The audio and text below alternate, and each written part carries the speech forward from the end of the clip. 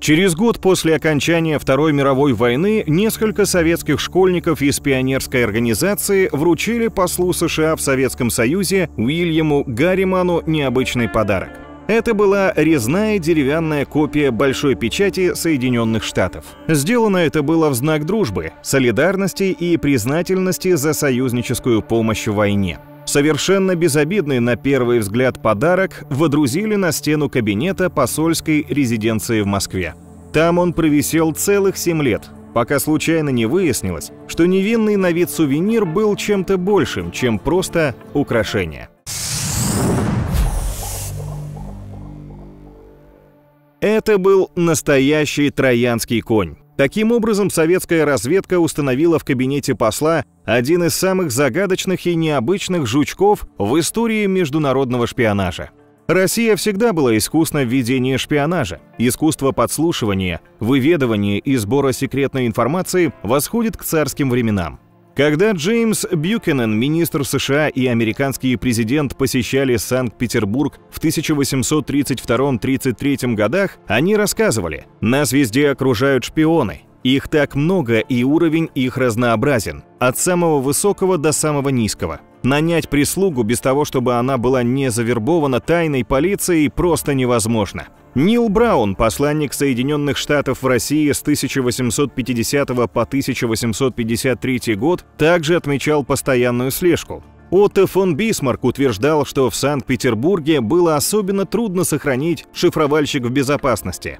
Ведь все посольства должны были нанимать русских слуг. Завербовать же их российской полиции было несложно. К 1930 годам шпионаж пережил усовершенствование благодаря техническим инновациям. Все важные телефонные разговоры прослушивались, микрофоны устанавливали куда только можно. Гостям, которые прибывали в резиденцию посла США в Москве, сразу вручали карточки. Там, кроме вежливых приветствий, был предупреждающий текст о том, что каждая комната контролируется КГБ. И весь обслуживающий персонал является сотрудниками спецслужб. Также там значилось, что за садом тоже ведется наблюдение. Багаж будет обыскиваться 2-3 раза в день. Делаться это будет максимально аккуратно и никто ничего не украдет. Послевоенный период скрытые микрофоны в посольстве обнаруживали регулярно. Самым необычным из подобных устройств, которому удавалось оставаться незамеченным в течение семи долгих лет, было очень сложное подслушивающее устройство под названием «Вещь». Это устройство было спрятано в подарок пионерской организации – деревянную печать США – у вещи не было ни собственного источника питания, ни каких-либо проводов. Она включалась и выключалась с помощью сильного радиосигнала извне. После включения устройство могло улавливать звуковые волны и модулировать радиоволны, передавая их обратно. Вещь практически невозможно было обнаружить. У нее не было никаких активных электронных компонентов. Когда устройство не было активно, оно не требовало питания – что давало ему возможность функционировать практически вечно. Хитрая вещь была разработкой гениального советского изобретателя Льва Сергеевича Термена. Ранее он прославился изобретением одноименного музыкального инструмента – терминвокса. Через 20 лет после этого талантливый ученый по воле судьбы оказался узником ГУЛАГа. Там его научные гении активно использовали в секретной лаборатории. Во время своей работы там Термен создал систему подслушивания «Буран», предшественницу современного лазерного микрофона. Она работала при помощи маломощного инфракрасного луча. Он на расстоянии обнаруживал звуковые колебания в стеклянных окнах. Принцип работы вещи был чем-то подобен этой системе. Внутри деревянной заглушки был спрятан микрофон. Он был чувствителен к звуковым колебаниям, которые возникали при разговоре. Внутри прибора была чрезвычайно тонкая металлическая мембрана, которая реагировала на них. Толщина ее составляла всего лишь 75 микрометров. Когда вещь облучали радиосигналом нужной частоты, мембрана начинала вибрировать, емкость устройства изменялась. Оно начинало модулировать радиоволны, и они ретранслировались его антенной. Работало это точно так же, как в обычном радиоприемнике. Простенькое устройство было пассивно, кроме того, так хорошо замаскировано, что оставалось незамеченным больше семи лет. Обнаружили его совершенно случайно. В 1951 году, когда вещь облучали радиосигналом, его случайно принял оператор в посольстве Великобритании.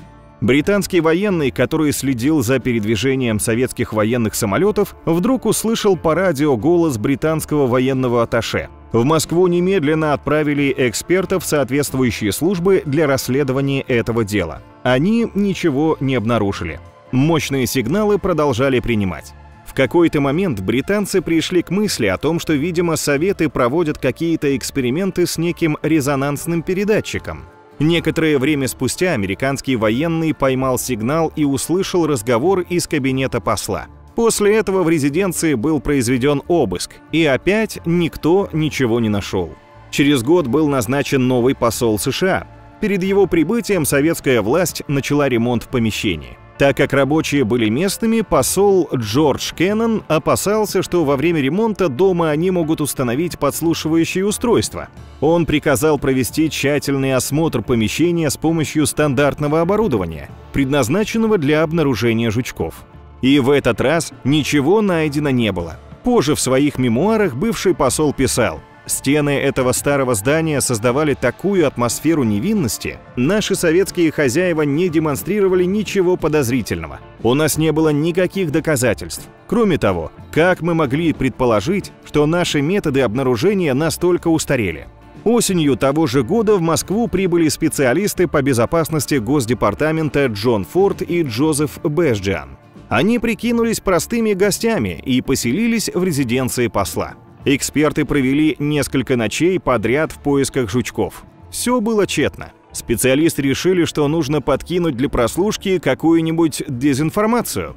Кеннон в тот же вечер позвонил своей секретарше. Он надиктовал ей ранее рассекреченную дипломатическую депешу. Бесджан и Форд в это время рыскали по дому в поисках радиосигнала. И им, наконец-то, повезло. Эксперты поймали сигнал. Дело осталось за малым – найти, откуда он исходит. Форд методично искал источник. Неожиданно он остановился прямо перед деревянной печатью США, висящей на стене в углу. Специалист сорвал ее и начал разбивать стену под ней молотком. Там ничего не оказалось. Тогда прямо на глазах испуганного Форда разрубил саму печать. Руки его дрожали от возбуждения и нетерпения, когда он извлекал маленькое подслушивающее устройство. Безжан был настолько впечатлен обнаруженным и так опасался, чтобы его не украли, что ночью положил жучок себе под подушку. Утром устройство отправили в Вашингтон. Там его изучили и дали название «Вещь», потому что это загадочное устройство произвело на экспертов неизгладимое впечатление – Специалисты были просто сбиты с толку. Они никак не могли понять, как же эта штука работает. Для того времени эта система была просто фантастически продвинутой электроникой. С открытием этого подслушивающего устройства искусство межправительственного шпионажа вышло на совершенно новый технологический уровень. Ситуация, безусловно, была очень серьезной. Несмотря на это, посол Кеннон нашел в ней смешную сторону. Он припомнил, как только что приехал в резиденцию и начинал учить русский язык. Кеннон жил тогда один, семья еще не приехала к нему. По ночам он любил читать на русском вслух сценарии из передач «Голоса Америки». В мемуарах он написал «Я потом часто спрашивал себя, что же думали обо мне те, кто меня подслушивал в те моменты? Интересно представить себе их реакцию на все эти антисоветские речи, которые я вещал посреди ночи в одиночестве. Они думали, что со мной кто-то есть или я сошел с ума.